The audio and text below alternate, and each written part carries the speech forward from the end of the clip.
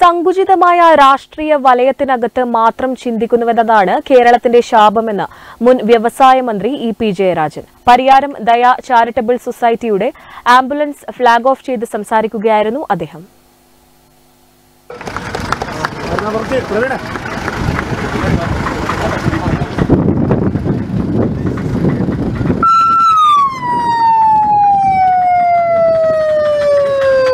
എല്ലാ വിഭാഗം ജനങ്ങളുടെയും ജീവൽ പ്രശ്നങ്ങൾ പരിഹരിക്കുക എന്നതാണ് സർക്കാരിന്റെ ലക്ഷ്യം. ഇതിനായുള്ള പ്രവർത്തനങ്ങൾ പരമാവധി സർക്കാർ നടത്തുന്നുണ്ട്. എന്നാൽ സാമ്പത്തിക പ്രശ്നങ്ങൾ തടസ്സമാകുകയാണെന്നും ഇ പി ജയരാജൻ പറഞ്ഞു. സാമ്പത്തിക പ്രശ്നം പരിഹരിക്കാൻ വിവിധ വികസന പ്രവർത്തനങ്ങൾക്ക് നേതൃത്വം നൽകുമ്പോൾ അതിനെല്ലാം തുരങ്കം വെക്കാനാണ് ചിലർ ശ്രമിക്കുന്നത്. സങ്കുചിത രാഷ്ട്രീയ ചിന്തയാണ് കേരളത്തിന്റെ ഇപ്പോഴത്തെ ശാപമെന്നും ഇ പി ജയരാജൻ പറഞ്ഞു. രോഗ വളർച്ച ഇല്ലാതിരിക്കാൻ ആവശ്യമായ വിപുലമായ പ്രവർത്തനങ്ങളിലേക്ക് ഇത്തരത്തിലുള്ള സംവിധാനങ്ങൾ ഫലപ്രദമായി ഇനിയും ഇടപെടേണ്ടതുണ്ട്. ആരോഗ്യരംഗമാണ് ഇത് ലോകത്തിന്റെ ഇപ്പോൾ പുതിയ പുതിയ രോഗങ്ങൾ വരികയാണ്. പനി പലതരത്തിലുള്ള പകർച്ചപ്പനികൾ വരികയാണ്.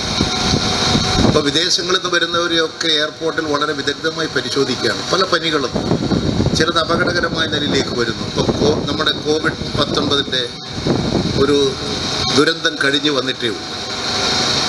ഇപ്പോഴും അതിന്റെ ആപത്ത് നമ്മുടെ സമൂഹത്തിൽ നിലനിൽക്കുന്നുണ്ട്. അപ്പോൾ ഇത്തരത്തിലുള്ള പ്രശ്നങ്ങൾ വളർന്നു വരുന്ന ഒരു കാലഘട്ടത്തിൽ വരാതിരിക്കാനുള്ള ജാഗ്രതാ പ്രവർത്തനങ്ങളിൽ ജനങ്ങളിൽ ബോധവൽക്കരണം ഉണ്ടാക്കാൻ Daya president A V Raveendran ചടങ്ങിൽ അധ്യക്ഷനായി.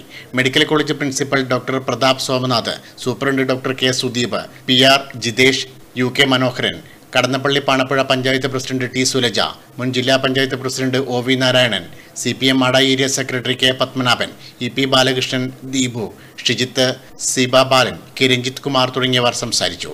രണ്ടായിരത്തി ഇരുപത്തൊന്ന് ഇരുപത്തിരണ്ട് വർഷത്തെ സി എസ് ആർ ഫണ്ട് ഉപയോഗപ്പെടുത്തി കെ എസ് എഫ് ഇ ദയക്ക് അനുവദിച്ച ആംബുലൻസ് സൗജന്യ നിരക്കിൽ നിർധനരായ രോഗികൾക്ക് ആശ്വാസമായാണ് സർവീസ് നടത്തുക എന്ന് ദയാഭാരവാഹികൾ അറിയിച്ചു.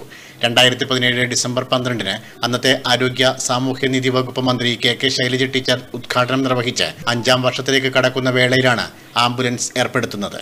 Network news Pilathara.